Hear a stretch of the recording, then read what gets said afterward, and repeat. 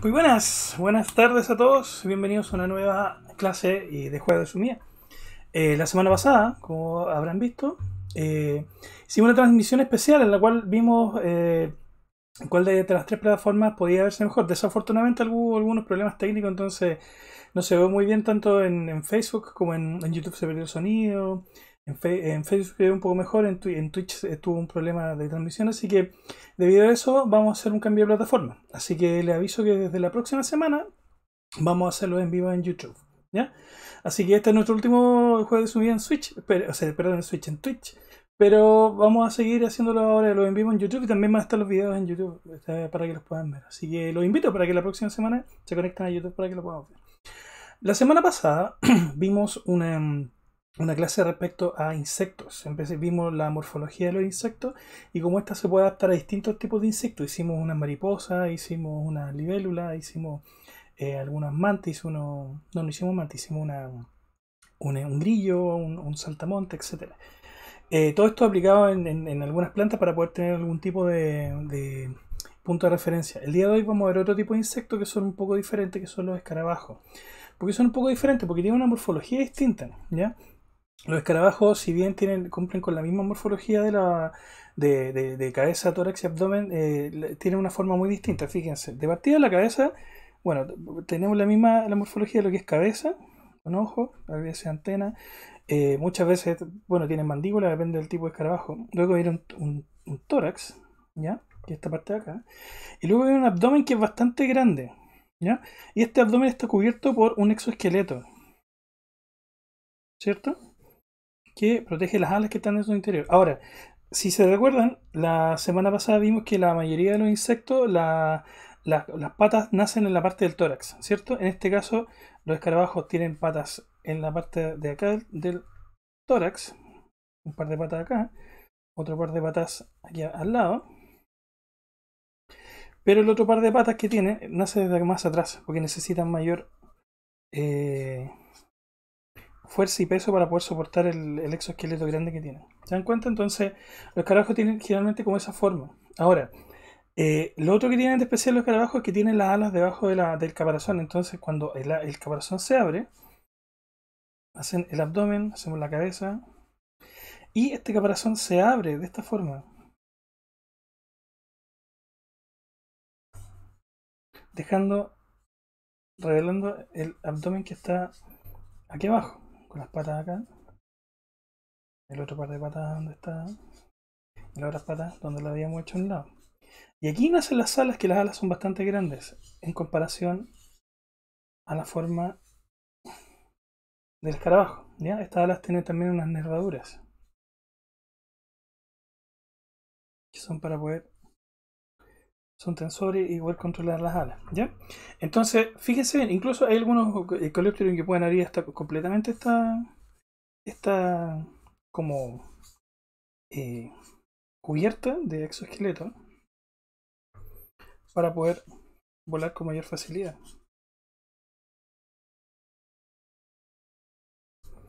Luego las alas por debajo. ¿Ya? Entonces, fíjense que la morfología es bastante interesante. Ahora, lo que tienen de, especial es sobre todo este caparazón. Este caparazón es duro, ¿ya? A veces tiene textura, a veces no, pero generalmente no, es textura, sino que al ser duro y es brillante. Por lo tanto, eh, a los que se están eh, uniendo ahora al chat, bienvenido a Ralph que está ahí saludando. Saludos.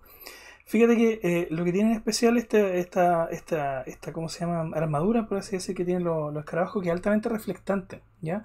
Por lo tanto, al ser reflectante, eh, eso nos permite que de repente nosotros podamos omitir algunas pinturas para poder dar la sensación de que está brillando. ¿Cachai? Que es como la idea que tiene la, la, forma del dibujo del escarabajo, ¿ya? Entonces, traten de mantener la morfología de lo que es cabeza, esta cabeza puede variar, depende del tipo de escarabajo, porque hay escarabajos que tienen cabeza con mandíbulas muy grandes, ¿ya? Entonces va a depender del escarabajo, siempre busquen referencia, ¿ya? Luego el tórax aquí abajo, donde nacen dos pares de patas. Dos pares de patas en el tórax. Y luego tenemos el abdomen que está cubierto con este exoesqueleto, ¿cierto? Ya, listo. Tenemos claro eso. Entonces, vamos a empezar a pintar esto- este tipo de insectos. Ahora miren, fíjense, lo que les recomiendo para este tipo de insectos que ocupen eh, pinceles secos, ¿ya? Eh, con la suficiente humedad como para poder manipularlo, pero eh, aquí tiene un poquito de humedad, pero lo suficientemente seco como para que puedan dejar rastro mientras pintan, ¿ya? Cosa de que puedan aprovechar ese rastro y esa textura de la, del, del- ¿cómo se llama? De la, eh, del, del, eh, del pincel para poder hacer el, efecto de brillo, ¿ya? Entonces vamos a empezar con un, pequeño ejercicio. Vamos imaginando que, por ejemplo, la luz viene de arriba, ¿ya? Porque eh, los carabajos caminan, así que le llega generalmente la luz del sol.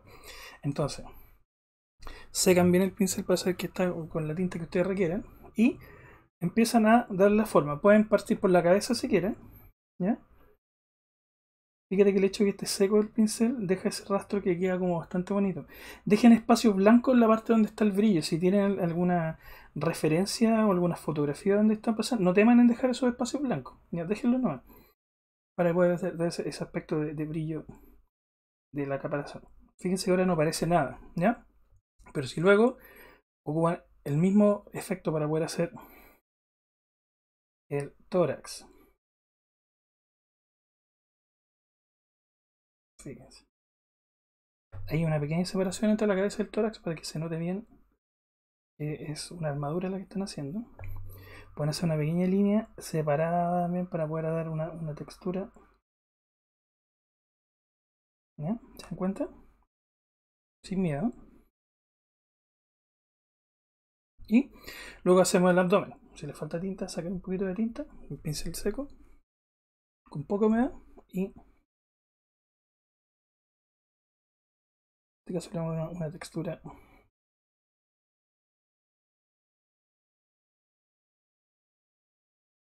de esta forma.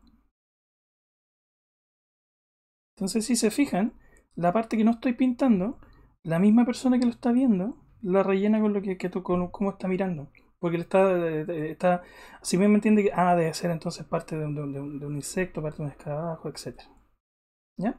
Entonces esa es la parte, eso es la, parte de armadura, pueden hacer lo mismo para las patas. ¿Cierto? Acuérdense que dos pares de patas son de acá del tórax y una par de patas grandota del abdomen. ¿Se dan cuenta? Pueden agregar algunos detalles si lo desean. Y por ejemplo estoy haciendo la parte de abajo del, del abdomen. Entonces fíjense que todos estos espacios blancos que estoy dejando eh, automáticamente se convierten en, en- en- brillo. En brillo del, del- que da a, entender un poco de, que el escarabajo es reflectante. Podrían darle una segunda eh, capa de profundidad si quieren. En este caso tendrían que ocupar el pincel también un poco más seco, pero con tinta ya diluida. Si lo desean en realidad, pero no es, no es- no es obligatorio. Pero podrían, por ejemplo, darle algunos, algunos detallitos, así como con tinta un poco más, no tan, no tan, eh, no tan seca. ¿Cuenta? Entonces le da un poquito más de textura. Y una tinta bien diluida. Le quita un poco de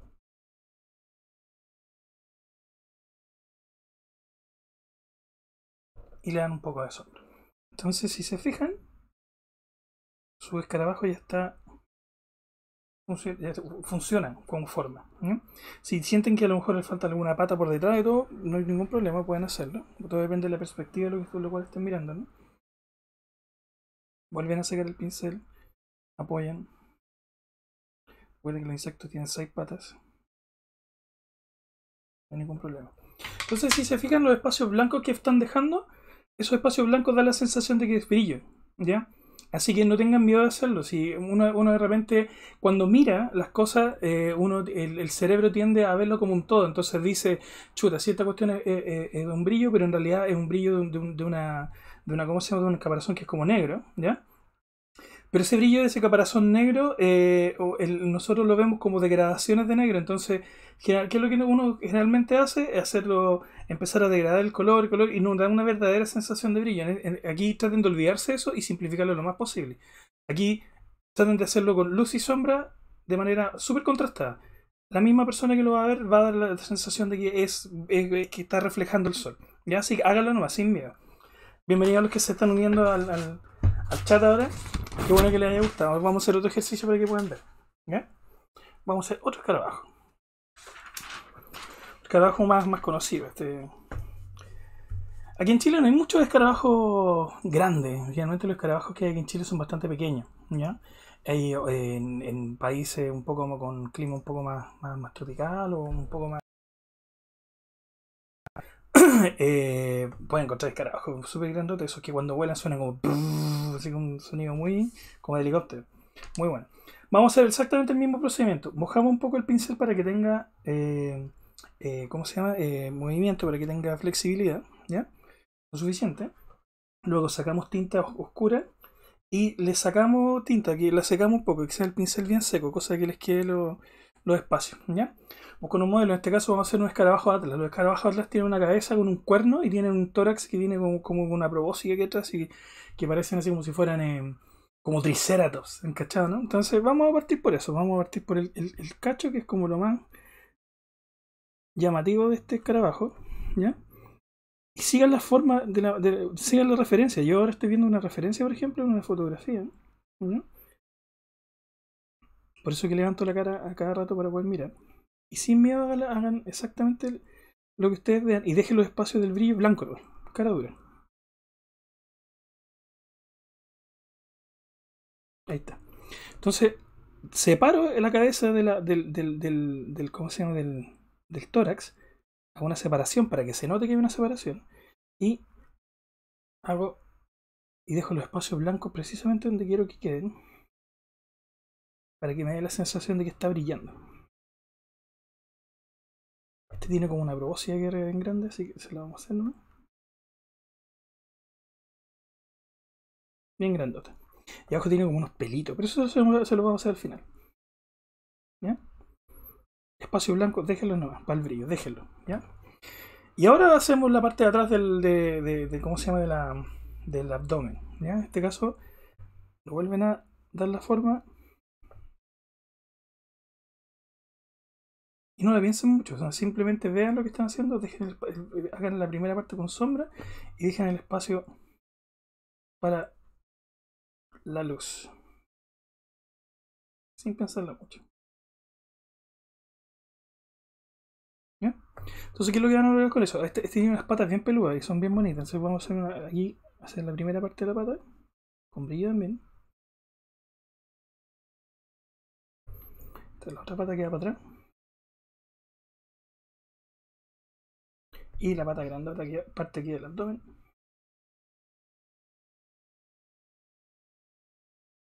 Tienen como unas pequeñas. eh, son como. No sé cómo se llama en realidad el término eh, correcto, pero son como, como si fueran espigas que se van abriendo. ¿Se dan cuenta? Aquí pueden ver un poco de detalle. Voy a quitarle un poco más de humedad al, al pincel para que quede bien seco. Y voy a darle este, estas como, como pelitos que tiene acá. Abajo, estos bichitos tienen como harto pelo.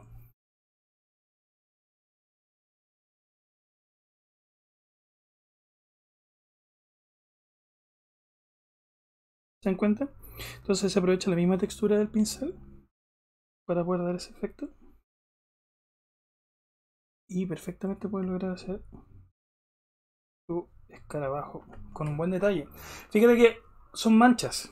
Son manchas que al darle cierto tipo de forma y ciertos espacios blancos, el vacío que ustedes van dejando, las personas lo pueden ver y pueden en- entender qué es lo que están viendo. ¿Se dan cuenta? Entonces eso es lo que tienen que aprovechar. Por eso que este, este ejercicio del escarabajo es bien interesante porque no es necesario que de repente seas tan eh, formal dentro de la, for- de, la, de la forma en general, sino que tienes que ser mucho más, un poco más, más laxo y, y un poco más expresivo. O sea, tomar la decisión de decir esto no nomás y punto. ¿no? Podemos darle una, una nueva sombra si quieren. Pueden diluir el mismo pincel. Vamos a sacarlo un poco.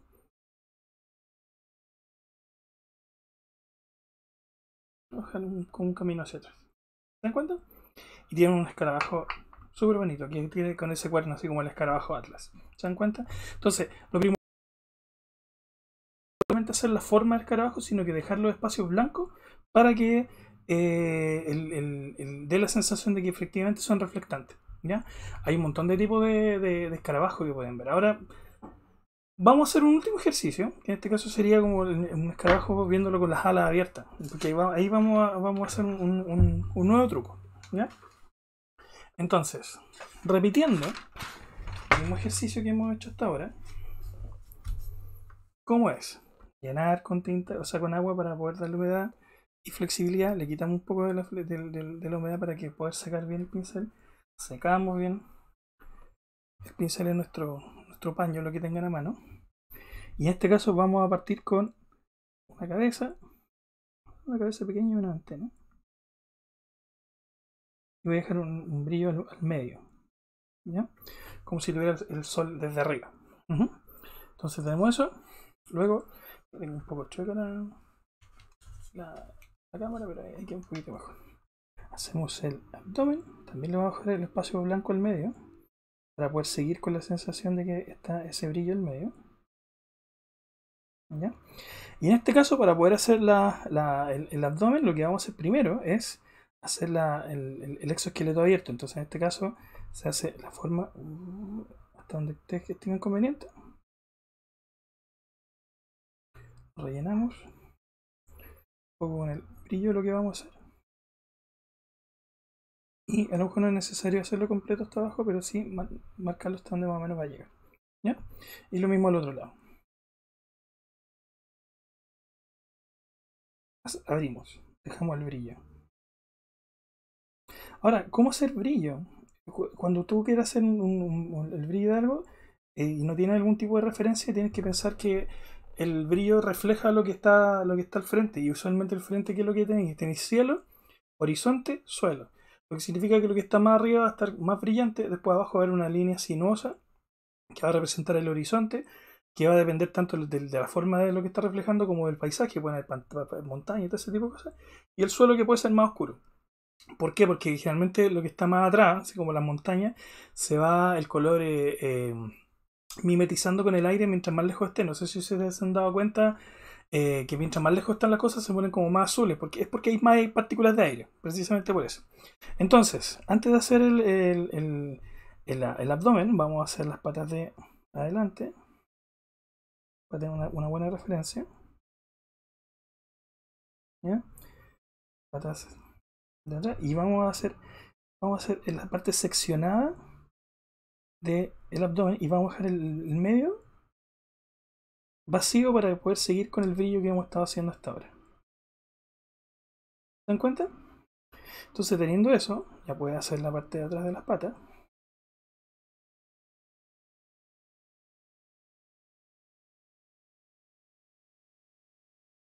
¿Ya? Fíjate que al dejar esa, esa parte del medio como abierta da la sensación de que, de que hay un brillo ahí. Y ahora lo que vamos a hacer para poder hacer las alas es que vamos a agarrar tinta eh, diluida, ¿ya? Tinta bien diluida. Y por debajo vamos a partir y vamos a hacer la forma de estas alas.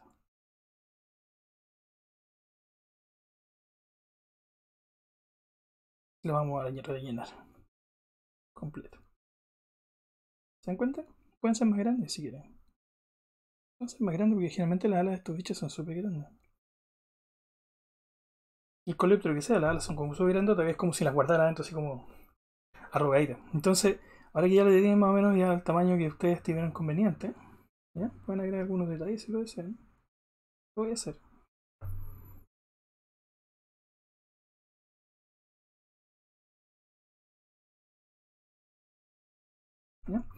Lo que pueden hacer es agarrar un pincel más pequeño, esperar a que se seque bien esto. Bueno, por el, por el tiempo no lo vamos a hacer ahora, así que que se seque. Tendría que esperar un poquitito más, pero con un pincel bien delgado. Eh, tinta completa. Y darle detallito. No, no me gusta este pincel, lo voy a hacer con el mismo pincel. Que tengo aquí uno, uno pequeño. Este sí. Este sí que sí. Vamos a ver tinta completa. Y vamos a darle algunos detalles. Por ejemplo, pueden darle la forma a la ala, si lo desean.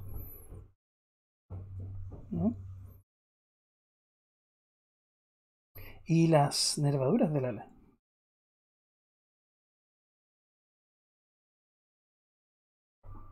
Lo mismo para el otro lado. Si se les va secando el pincel no importa. Aprovechen precisamente que se les seque para poder darle ese efecto bonito de textura. ¿Se dan cuenta?